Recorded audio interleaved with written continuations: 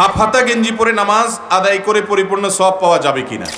আমার ঠিক পেছনে একজন নামাজ আদায় করতেছে, তার নামাজ শেষ হওয়ার আগে আমি যেতে পারব কিনা? নামাজরত ব্যক্তির ঠিক কতটুকু সামনে দিয়ে যাওয়া যাবে? আজানের পূর্বে মোয়াজ্জিন দুরুদ সালাম পড়ে, এটা জায়েজ আছে কিনা? ঘুম থেকে উঠে যদি দেখি ফরজ গোসল করতে হয়, একই সময় যদি ফজরের ওয়াক্ত বেশি সময় না থাকে, এমত অবস্থা করণীয় কি?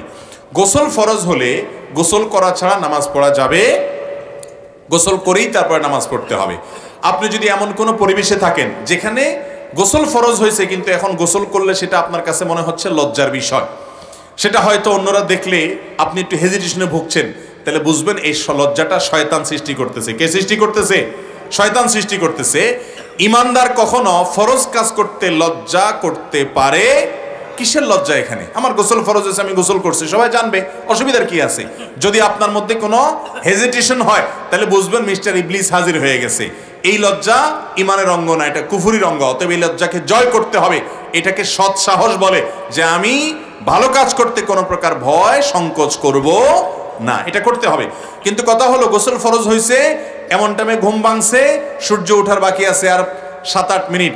গোসল করে আর নামাজ পড়া সম্ভব নয়। এরকম যদি হয়, তাহলে সেক্ষেত্রে আপনি সূর্য ওঠার দশ পনেরো মিনিট পরে এর মধ্যে গোসল করে তারপর আপনি নামাজের কাজা করবেন এবং ইস্তেকফার করবেন। ভবিষ্যতে যেন এরকম না হয়, অ্যালার্ম টেলার্ম দিয়ে শোবেন। কদাচিৎ জীবনে একবার এরকম অ্যাক্সিডেন্টলি ঘটনা হতে পারে।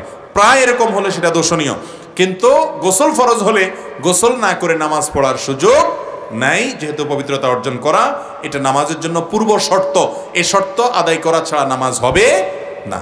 হাফ হাতা গেঞ্জি পরে নামাজ আদায় করে পরিপূর্ণ সব পাওয়া যাবে কিনা?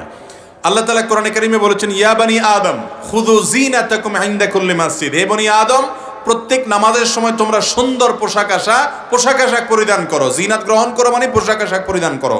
এতর করে কুলামা একরামি বলেছেন, আল্লাহর দরবারে যখন আপনি দাঁড়াবেন, তখন আপনার দাঁড়াটা হতে হবে উত্তম পোশাকে, আপনার এর মধ্যে উত্তম পোশাকে।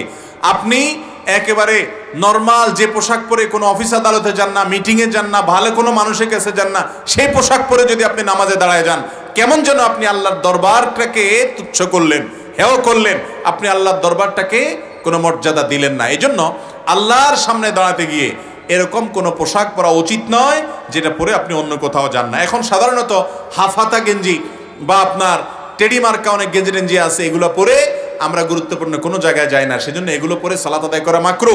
আপনি শার্ট পরেন আর যাই পরেন, এমন পোশাক পরেন যে পোশাকটা পরে আপনি ভালো জায়গায় যান, গুরুত্বপূর্ণ মানুষদের কাছে যান।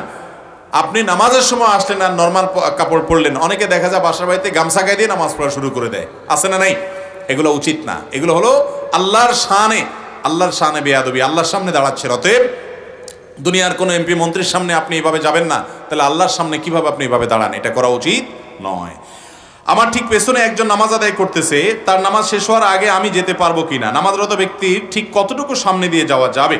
আপনার ঠিক পেছনে যদি কেউ নামাজ আদায় করে ঠিক পেছনে, তাহলে সেক্ষেত্রে আপনি বরাবর সামনে যদি বসে থাকেন, আপনি উঠে যেতে পারেন। এই মাস আলাটা না জানার কারণে বহু মানুষ আছে, সামনে দাঁড়ায় দাঁড়ায় কই মাছের মাথা চাবায়। কই মাছের মাথা চাবানি বুঝেন? এরকম করে। মানে পিছনে যে বেচারা নামাজ পড়তেছে, বিরক্ত হয়ে সে কই মাছের মাথা চষে। তো এবার ওই বেচারা, কই মাছের মাথা চষা বুঝেন নাই? মানে বিরক্ত আর কি সে। এই যে বিরক্তি প্রকাশ করতেছেন আপনি, পিছনে যে বেচারা নামাজে দাঁড়াইছে, তার নামাজের অবস্থা কাহিল হয়ে যাবে। কারণ সে বারবার দেখতেছে, আপনি পিছনে বড় বড় চোখ করে তাকাচ্ছেন তার দিকে। তখন তার নামাজের অবস্থা কাহিল হবে না।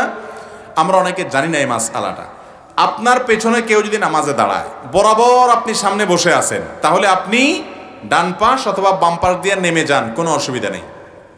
আপনারা কেউ বসে থাকতে বলে নেই।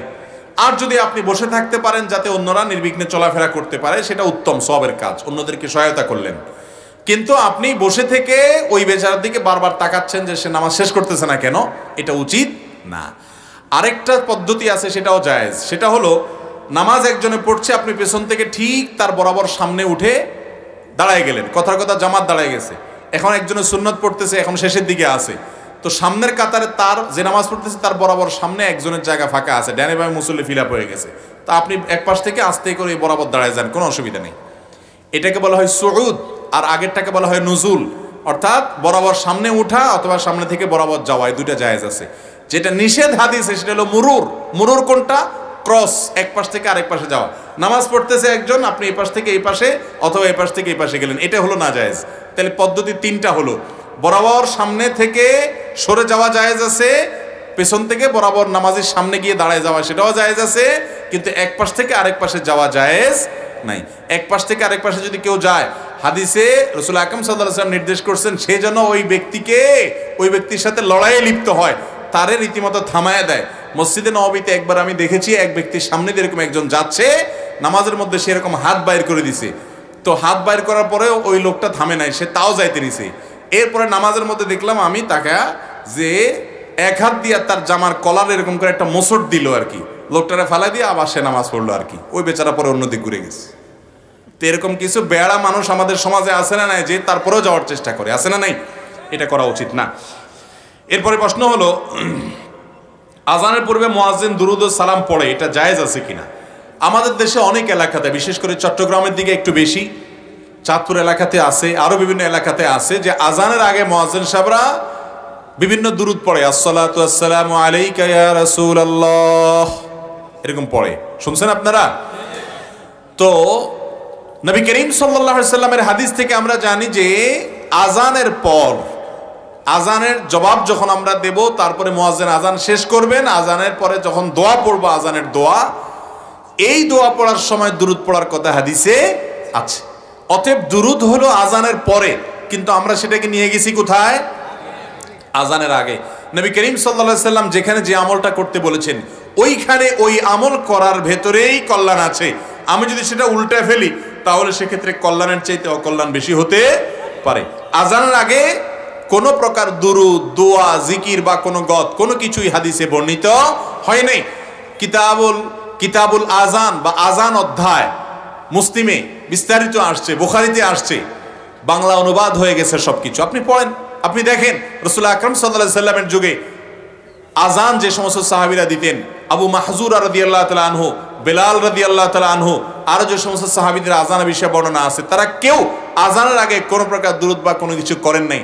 আপনি যদি সেখানে নতুন একটা সিস্টেম বানিয়ে নেন, সেটা বেদাতে পর্যবসিত হতে পারে। মন গড়া কোনো পদ্ধতি, কোনো আমল, শরীয়তে যেখানে ফরম্যাট আছে, সেখানে নিজে আরেকটা ফরম্যাট তৈরি করে নিলেন বা এটাকে উল্টে নিলেন, এটা সুস্পষ্ট বিদাত হবে। আল্লাহ তালা আমাদেরকে বুঝার এবং এই ধরনের মন গড়া আমল থেকে বেঁচে থাকার তৌফিক দান করুন।